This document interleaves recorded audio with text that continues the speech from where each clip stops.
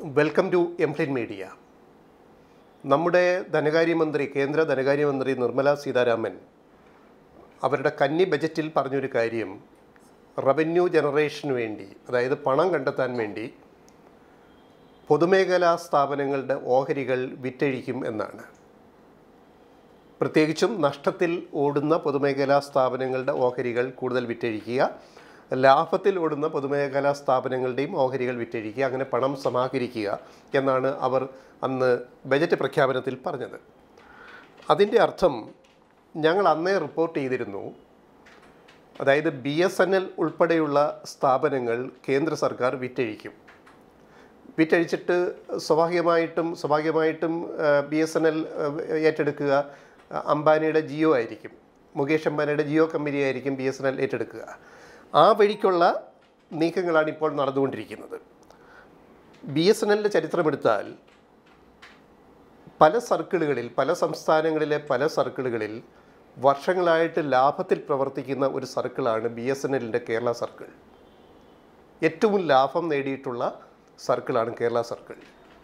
Mobile phone ആയാലും മറ്റ് സേവനങ്ങളായാലും ഏറ്റവും കൂടുതൽ സബ്സ്ക്രൈബേഴ്സിനെ വരിക്കാരെ പ്രീപെയ്ഡോ പോസ്റ്റ് പെയ്ഡോ ഒക്കെ ഉണ്ടാക്കുന്ന ഒരു പ്രവർത്തനം Kerala B S N L കാണിച്ചിട്ടുണ്ട്.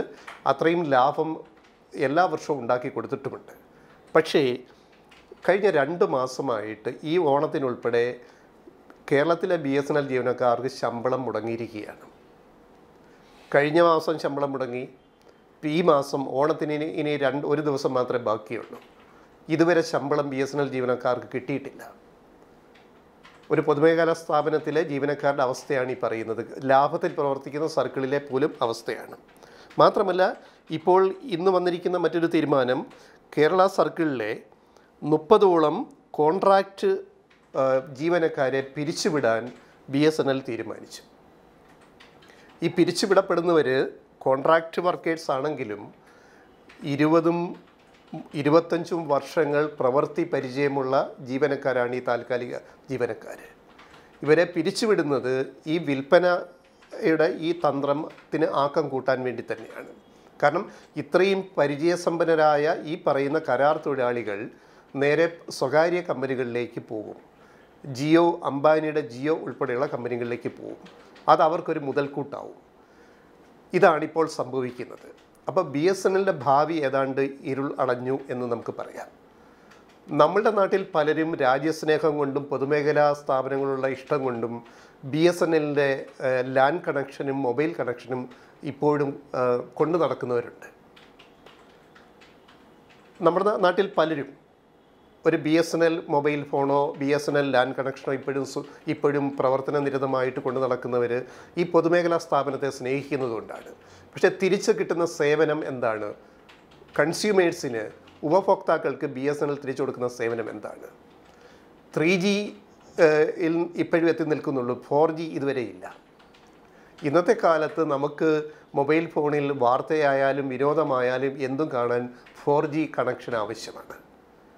അപ്പോൾ ഫോർ ജി കണക്ഷൻ മനഃപൂർവം കൊടുക്കാത്തത് കൊണ്ട് സ്വകാര്യ കമ്പനികളുടെ ഫോർ ജി ആണ് നമ്മളിപ്പോൾ ഉപയോഗിക്കേണ്ടി വരുന്നത്. ജിയോ ആവട്ടെ എയർടെൽ ആവട്ടെ അല്ലെ വോഡാഫോൺ ആവട്ടെ ഇതാണ് നമ്മൾ ഉപയോഗിക്കുന്നത്. അടുത്ത കാലത്ത് കേന്ദ്ര ഗവൺമെന്റ് ഒരു തീരുമാനമെടുത്തു.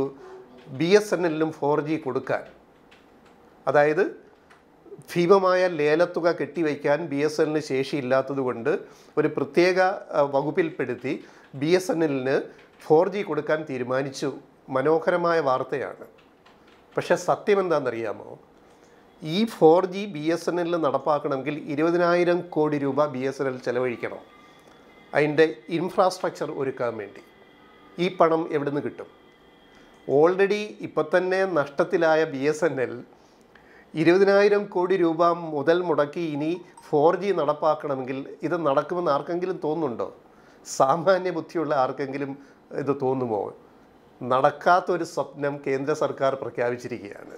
ബി എസ് എൻ എല്ലിൽ four G വരുന്നത്രേ. B S N L four G നടപ്പാക്കാൻ പോകുന്നത് കോഴിക്ക് മുല വരുന്നത് പോലെയായിരിക്കും എന്നൊരു ചൊല്ലുണ്ടല്ലോ. നടക്കാത്ത കാര്യങ്ങൾ പ്രഖ്യാപിക്കുക എന്ന് പറയുന്നത് ഭരണത്തിലിരിക്കുന്നവരുടെ ഒരു തന്ത്രമാണ്. ജനങ്ങളുടെ കണ്ണിൽ പൊടിയിടുക അത്രയേ ഉള്ളൂ. പറയാമല്ലോ B S N B S N എല്ലിന് ഫോർ ജി നൽകാൻ കേന്ദ്ര സർക്കാർ തീരുമാനിച്ചു. ഒരു പേപ്പറിൽ തീരുമാനം എഴുതി വെച്ചിട്ട് കാര്യമുണ്ടോ? ബി എസ് എൻ എല്ലിൽ അത് നടപ്പാക്കാനുള്ള സാമ്പത്തിക ഭദ്രതയുണ്ടോ? ഇല്ല. ഈ പറയുന്ന ഇരുപതിനായിരം കോടി രൂപ എവിടുന്ന് കണ്ടെത്തും? കേന്ദ്ര ഗവൺമെന്റ് കൊടുക്കുമോ? ഇല്ല. സ്വന്തം വരുമാനത്തിൽ നിന്ന് എടുക്കാൻ ഉള്ള മൂലധനം ബി എസ് എൻ എല്ലുണ്ടോ ഇല്ല. വർഷങ്ങളായിട്ട് നഷ്ടത്തിൽ പ്രവർത്തിക്കുന്ന ബി എസ് എൻ എൽ പിന്നെ എങ്ങനെയാണ് ഫോർ ജി നടപ്പാക്കുക? ഇതൊക്കെ ജനങ്ങളെ പറ്റിക്കാനും വളരെ വിദഗ്ധമായിട്ട് വളരെ തന്ത്രപരമായിട്ട് പൊതുമേഖലാ സ്ഥാപനങ്ങളെ കോർപ്പറേറ്റുകൾക്ക് വിറ്റഴിക്കാനുമുള്ള തന്ത്രമാണ് ഈ മെനയുന്നത്. സാധാരണ ജനങ്ങൾക്ക് ഇത് പെട്ടെന്ന് മനസ്സിലാവില്ല. കേന്ദ്ര സർക്കാർ നരേന്ദ്രമോദി സർക്കാർ പൊതുമേഖലാ സ്ഥാപനങ്ങളെ മുഴുവൻ വിറ്റഴിച്ചിട്ട് കോർപ്പറേറ്റുകളെ എങ്ങനെ അവിടേക്ക് കുടിയിരുത്താം എന്നതിന്റെ ഏറ്റവും ഒടുവിലത്തെ തീരുമാനമാണ് ബി എസ് എൻ എൽ ഇപ്പോൾ കേരളത്തിൽ ഇപ്പോൾ നടപ്പാക്കിക്കൊണ്ടിരിക്കുന്നത്.